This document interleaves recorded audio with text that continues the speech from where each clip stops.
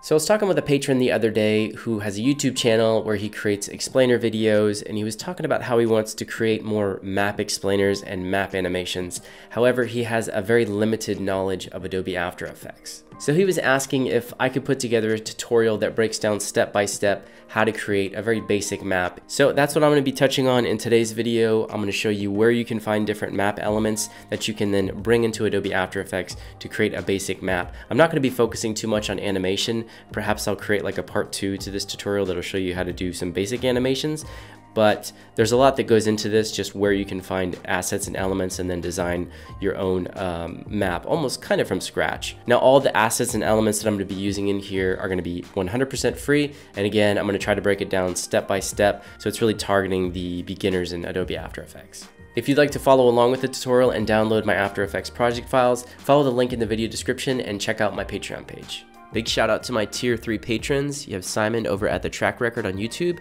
Joseph Culligan, Samir Mahdi, Tyson, the Keymaster, and Mike and Sandra over on YouTube at Flumi Plus One. Thank you so much folks for making this video possible.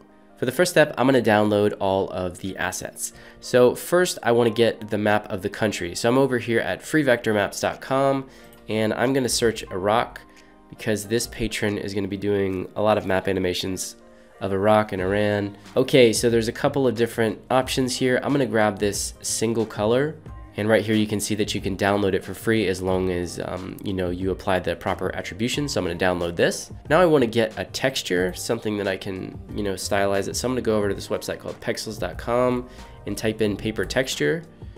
And then I can grab this texture right here, just quickly download this. And one of the first animations that my patron wants to create is to show like gas and petroleum locations inside of Iraq. So I'm gonna go to Icon Finder and we're gonna grab some icons. I'm gonna type in oil. And then on the left here, I'm gonna search by free. So these will all be free. And you can see there's a bunch of different options here. I'm gonna grab this one here and I can choose the size as well as SVG or PNG. I'm gonna stick with PNG because that'll automatically upload. And now I'm gonna need a reference map of Iraq. And this is just to, when I create my cities and place them, I wanna have a reference map that I can just overlay and use it to position those or geo-reference them. So I'm gonna do Iraq map. Okay, and I'll grab this one here.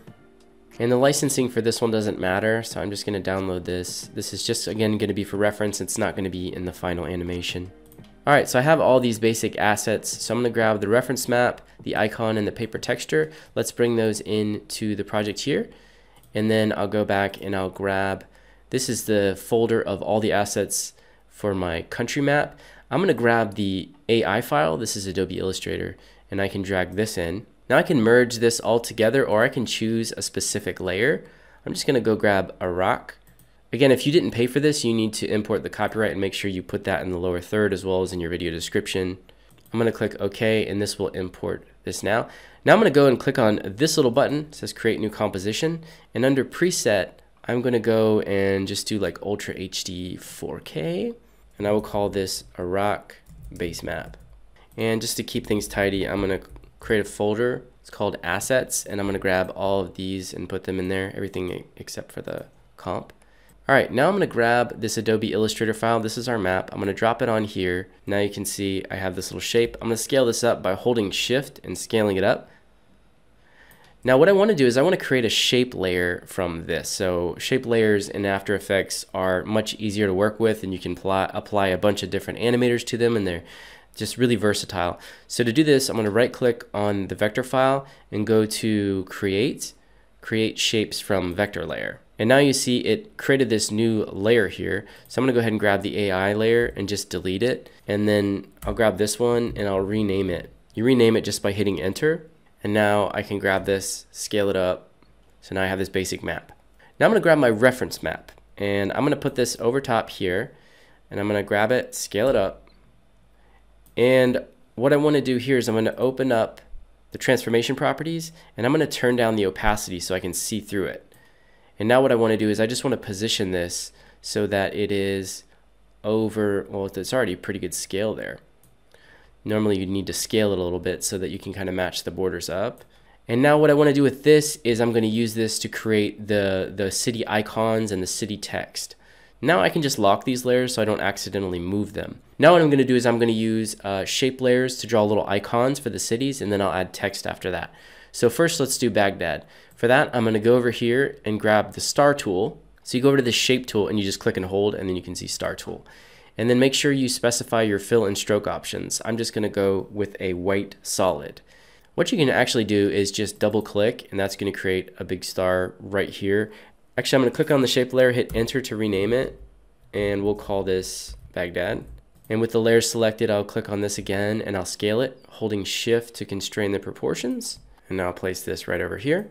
And now I'm going to go grab the ellipse tool and we'll just use an ellipse for, uh, for these other cities. Now I'm going to click and drag and I'll hold shift. And to center this up, this is kind of a quirk with these, you just open up the transformation properties of the ellipse group and under position, just make sure you zero that out and that's going to put that in the middle. And now I can grab it here and I can just start to place this over some cities here. So let's do this one and we can rename it. And then I'm going to hold control and hit D to duplicate and then I'll grab it here. We'll do Fallujah, rename. And then I'm just going to repeat this process for a couple of cities. Now I'm going to turn off the reference and these, these shapes are actually still looking a little big. So I'm going to go grab all of them, just the circular ones. And I'm going to type in the keyword size and that'll bring up the size attribute of all of these.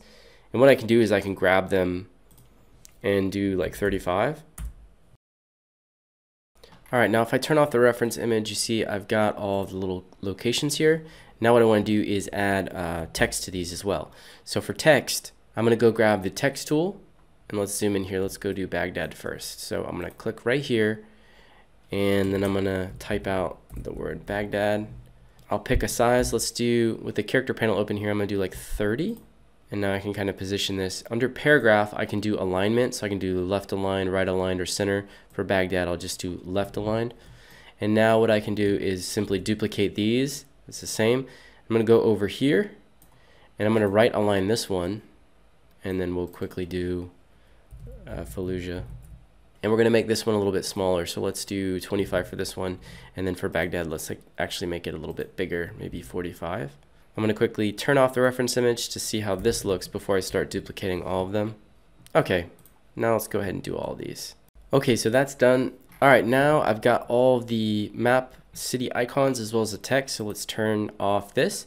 And there you go. Now you can see how this looks. Now to keep things neat, I'm going to full screen this timeline here using the tilde key. If you hover your cursor over a panel and then you hit the tilde key, it should full screen that panel. So what I'm going to do here is I'm going to grab all of these and just to keep things nice, I'm going to hold control shift, hit C. It's, this is called a pre-comp. This is basically grouping all these layers. I'm going to type in cities, text, click OK. And now for these symbols, do the same thing, pre-comp this, cities, markers, and that keeps everything nice and neat. Now you can see I can toggle these on and off. Now I'm going to go and grab our paper texture and I'm going to drag this to the bottom and I'm going to grab it. Whoops, don't want to grab that. So I'm going to actually lock off cities and markers. I'm going to grab our paper texture. Now I can manually like scale this up, but you'll see it's a different uh, it's a different size than our comp. So I'm going to right click on it and do transform and you have fit to comp but I want to do fit to width because I want it to if you fit to comp it's going to warp it and scale the width different from the height. So we want to fit to width and then you see it maintains the proportions. But this looks terrible. It's not you know we need to blend it now. So we're going to blend it using these blend modes here. If you can't see this column you just toggle this button here and it's going to toggle in between these. Now what I want to do is I'm going to grab Iraq, the base map here. So maybe I'll rename this Iraq country just so we can see what's what here. And I'm going to click here and you have all these different options. I'm going to go click on overlay. Now it's not very strong here, so I'm going to grab it again. And then up here in fill, I can change the color of this. So I'm going to click on this and then I'll just bring this down to pure black. And now check that out. We've got, oh, let's look and blend, it's blending much better. You can see the texture now. And now for these cities, what you can do, unlock this, and you can do the same thing with both cities and just overlay. And you can actually go here and go to effects and presets and type in fill and just drop a fill on one of these and this is going to change its color of all these. So this is these are the text elements. And now I can drag around and test out uh, different, you know, if you want to do a black or if you want to do something a bit brighter with that overlay, you know, you can play around with it. But I'll go ahead and click cancel and I'll delete the fill and just leave it as is right now. I think maybe if we go to the country map, we can turn the opacity down to maybe like 80 and that'll make that text pop out a little bit. Let's undo, redo. And now I can add another text element, a big one, and type in Iraq, and then, you know, just crank it. Uh, we want to make it left aligned, crank, crank, crank, crank, crank, and then grab here. And then one way to just test out blend modes is to hold shift and hit plus. And that's just gonna, that's just gonna start to cycle through all the blend modes. And then you can find one uh, that you're happy with. You could just, just, just a quick way to see like which one's looking good. And I'm still happy with overlay. Overlay is still looking uh, pretty good here if this is what you want. Now I can go back to project and if I want to add, you know, if we want to start to add some stuff to this map, I can grab like the oil tank, this icon, I can drop it on here and bring this down. And I can switch this to overlay as well if I want. And you see it's black, it's not really doing much of anything, so I can go back again and I can grab a fill, can add that here. And then you can switch it to uh, you know whatever kind of color you want. If you want it to follow like the same theme as all these others. And naturally I don't know where these go. So let's just um, you know start to duplicate these. And there you have it. There is a quick base map now I created this really quickly but you know I would go in and change some of this text a little bit maybe make it pop more and you can't it's not really the readability is not perfect so you'd want to play with this but this is a good uh, start, we, we at least have something here. And now I, I, you know, I can keep everything nice and neat. So every week or every time that you're publishing a video, you can come in here and just uh, duplicate the project, animate it, and you're good to go. And you know, this little coffee stain is kind of bothering me. So let's, uh, let's grab our, this and uh, I just want to kind of get rid of that. And once again, if you want a copy of this After Effects project file, go check out my Patreon. There's a link in the video description as well as a link right here. As always, if you enjoyed the video, be sure to hit that thumbs up button. And if you want to see more content like this, be sure to subscribe to the channel, hit the notification bell,